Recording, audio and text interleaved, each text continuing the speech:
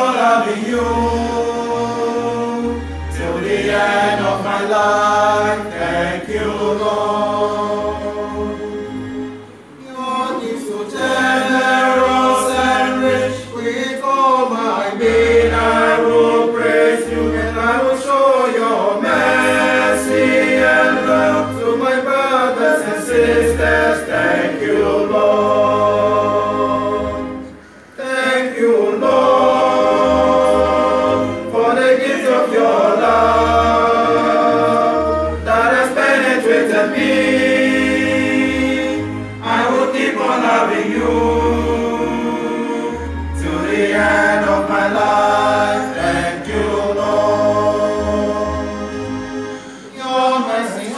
has